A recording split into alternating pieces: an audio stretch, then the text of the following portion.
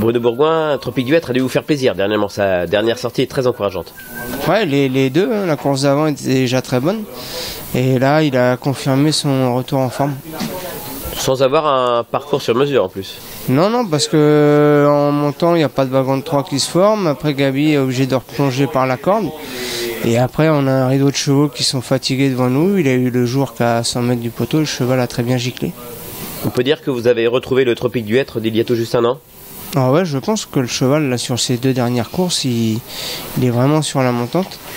Là, on est très bien placé au gain. Maintenant, il y a le petit handicap de rendre 25 mètres qui est jamais évident. Mais la course est tellement belle que je suis retenté parce qu'en plus, elle n'est pas européenne.